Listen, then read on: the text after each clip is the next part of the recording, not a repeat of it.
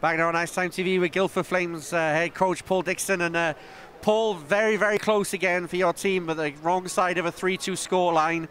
What do you feel that you lacked over these last few games that stopped you getting over the line?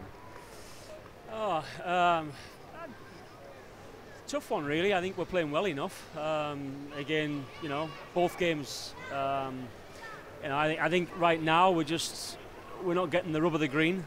I think we're not getting bounces. Um, we're certainly working hard enough, um, which is, you know, that's that's the number one thing that I'm looking for out of my team, is their work, the work ethic, and the commitment. And they've shown that all over the ice. And uh, like you say, the bounces just aren't going our way uh, right now. But the only thing we can do is keep on working hard and keep on believing in what we're doing, and uh, hopefully we can work our way out of it. But like I say, we're so close. Um, but you know, the, the depth, the depth of our team isn't what it is as the big teams. Uh, obviously, Cardiff, Belfast, Nottingham, Sheffield. We haven't got the depth that those top teams have, but you know, I think we've uh, we've got quality in our team. But uh, like you say, the the games are coming thick and fast, and we've we've got a couple of key guys out injured at the minute as well. But we can't use that as an excuse, obviously, because we've still got quality in that team. But um, you know, I've got no complaints with how my team's playing. I think they're working hard enough, and that's what we're looking for. And uh, like you say, the difference is just a break here and there, and you know, unfortunately tonight, um, the uh, Cardiff's last goal was on the power play.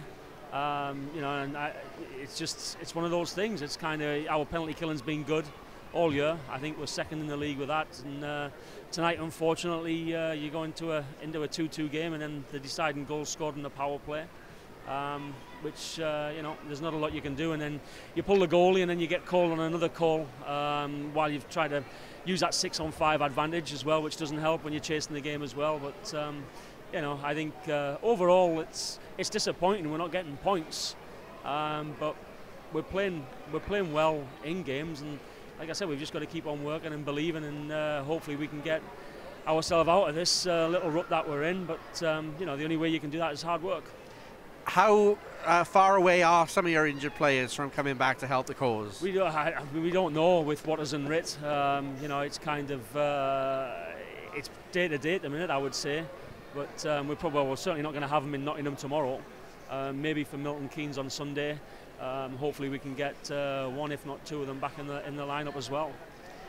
It's the uh, first game of the new year. 2019 has a lot of opportunity for your team, not just in the league, but also you're in the Challenge Cup semi-finals. Um, is the aim a trophy at the end of this season? Is that what the Guildford Flames are heading towards? I don't think we've got to, you know, yeah, it would certainly be nice, but I think you know we've got to.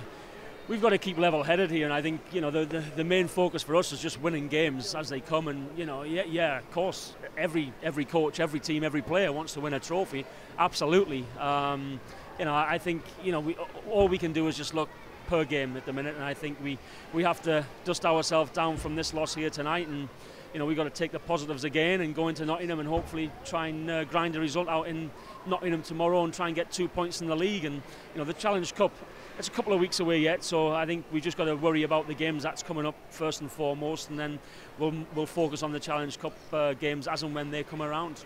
Paul, as always, thanks for joining us Nice Ice Time TV and best of luck for the rest of the year. No worries. Thank you.